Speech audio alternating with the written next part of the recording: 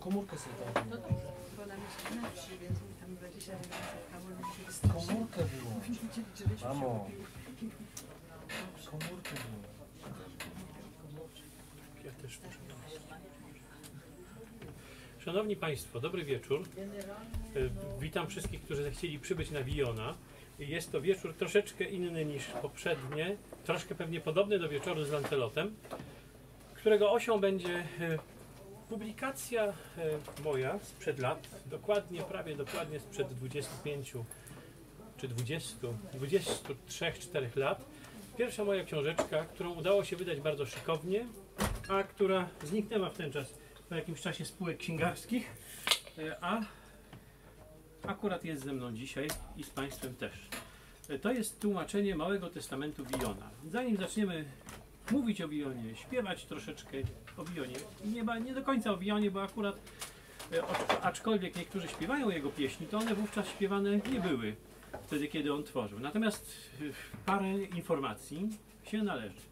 Po pierwsze, może to, że 31 sierpnia wprowadza nas w konflikt aktualny w Polsce pomiędzy jedną a drugą stroną Solidarności, w którym to konflikcie, jak wiadomo, profesor Geremek miał swój udział.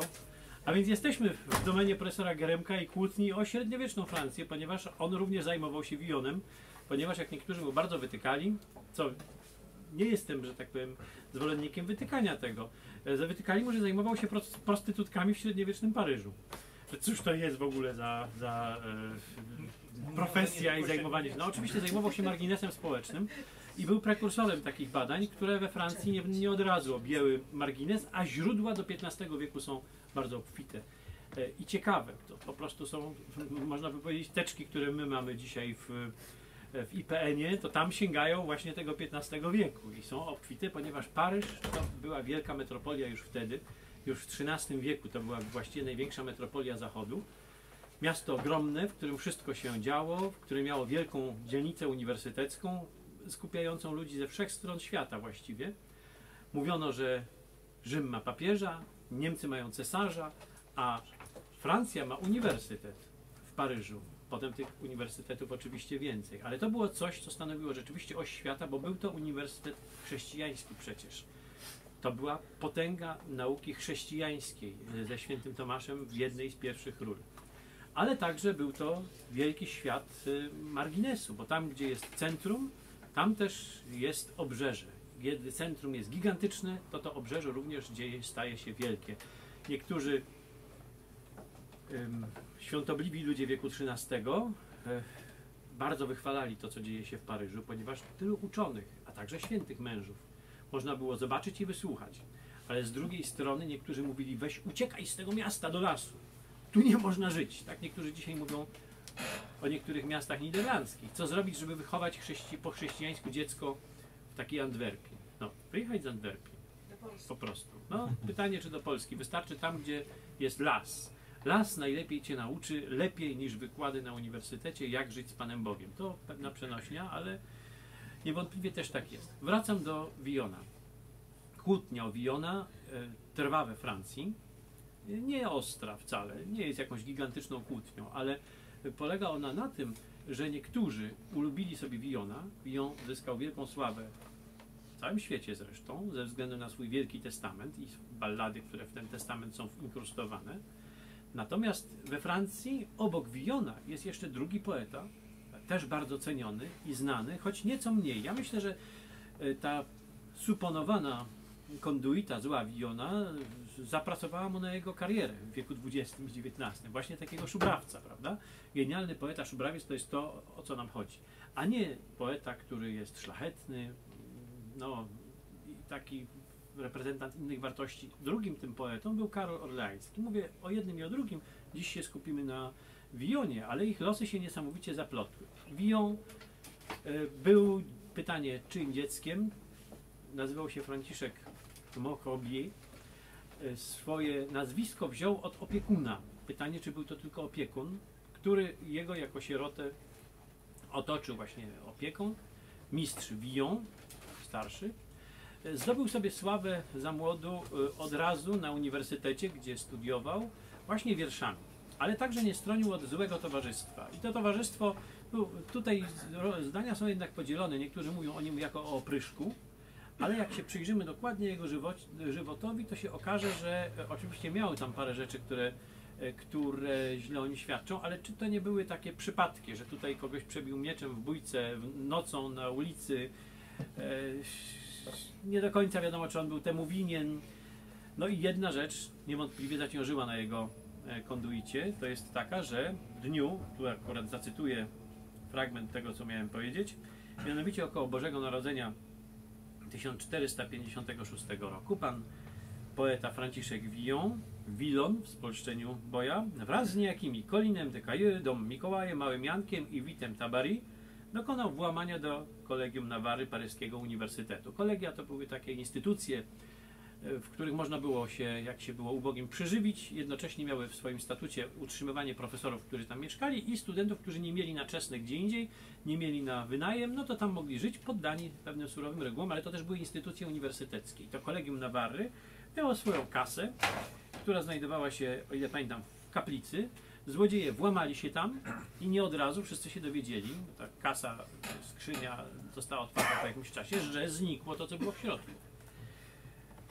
Zdaje się, że to, co Państwo usłyszycie, było takim trochę prześmiewczym alibi Villona, ponieważ on opuścił wtedy Paryż e, i pisze, co robił tę noc tuż przed Bożym Narodzeniem.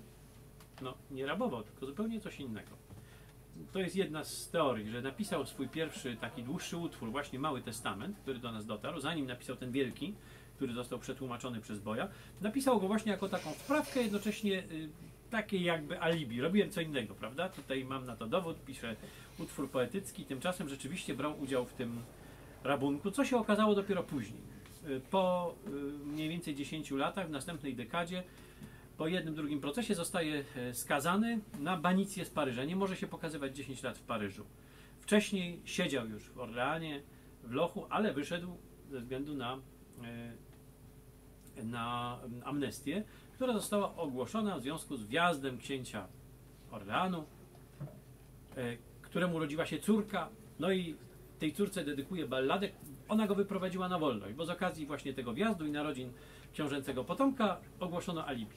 I w ten czas, w ramach jednej ze swoich wędrówek, Villon trafia na dwór księcia Karola Orlańskiego. To właśnie jest ten drugi poeta, o którym mówimy, że czasami toczy się spór. Kto lepszy? Karol Orleański czy Villon? Karol Orleański to niesamowity poeta. Od razu mogę powiedzieć, że to jest po prostu coś niebywałego.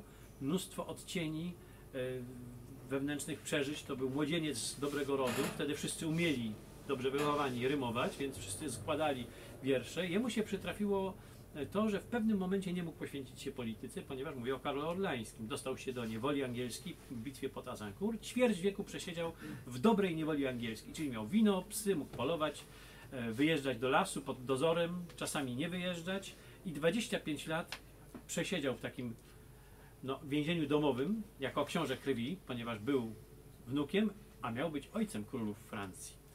Związku z czym był cennym nabytkiem. Zanim podpisano pokój z Anglią w wojnie stuletniej, no to minęło te ćwierć wieku i on siedział. No nie miał co robić, więc flirtował i pisał wiersze.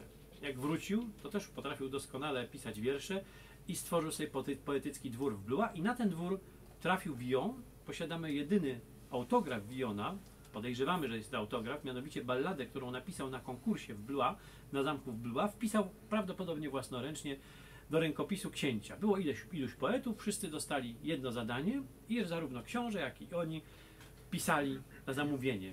Wszystkie ballady są świetne, a Villon był mistrzem improwizacji zapewne i napisał też nie, nie, niezwykłą balladę na temat przy źródle usycham z pragnienia. Jestem na dworze książęcym, ale wciąż jestem biedny, wciąż jestem tym wędrownym poetą. Ale to wszyscy rymowali na ten temat. Villon potem gdzieś przepadł. Nie wiadomo, czy zginął. Historia nie wie, może kiedyś odnajdą się jakieś jeszcze dokumenty, które mogłyby o nim mówić. Natomiast jego poezje pod jego nazwiskiem, imieniem były drukowane e, i rozeszły się jako jego e, utwory. Bardzo były popularne. No, przestanę mówić o nim w tej chwili, o tych późniejszych utworach. Ważne, że mamy Mały Testament, ponieważ Villon przetłumaczył, e, ponieważ Boy przetłumaczył Wielki Testament, ponieważ jest to dzieło znane, mówię o dziele tłumaczonym.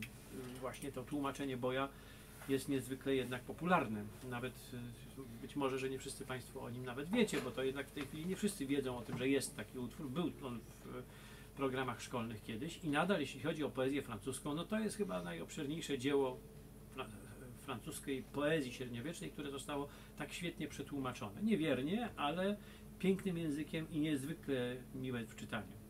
Natomiast nie przetłumaczył Boj Małego Testamentu, co postanowiłem zrobić ja, żeby się wkupić w łaski czytelników, co się nie udało wtedy, natomiast udało się wydać książeczkę, która miała bardzo ograniczony zasięg, ale została pięknie opracowana. Niewielka, ten testament jest krótki. Dlaczego testament? Y, To jest prześmiewczy testam- testament. Y, Szlajając się po rozmaitych szynkach, które mają szyldy, gdzieś szyszak, tu osioł w paski, tak naprawdę można powiedzieć pręgowana osioł zebra, prawda? Osio, osio, osioło zebra. To są godła tych szynków, są imiona rozmaite, y, z których żartuje sobie Villon i wyruszając z Paryża, rzekomo z przyczyny niepowodzenia miłosnego, co tu jest prawdopodobnie fikcją literacką, chociaż niektórzy się zastanawiają, czy to rzeczywiście nie było jakieś miłosne niepowodzenie, które pchnęło Villona na złą drogę. Czy to jest taka właśnie literacka fikcja tylko, potrzebna mu do rozwinięcia opowieści. W każdym bądź razie z tego powodu opuszcza Paryż, że już praktycznie tu żyć nie może, a jest bliski śmierci, skoro go ukochana odrzuca i podaje wszystkim różne dziwne dary. To nie jest wynalazek Villona, bo takie poetyckie testamenty już istniały 100 i 200 lat wcześniej, pożegnania. On wykazał się tutaj maestrią języka, e, dużą fantazją i to chwytało wtedy bardzo w XV wieku jego czytelników.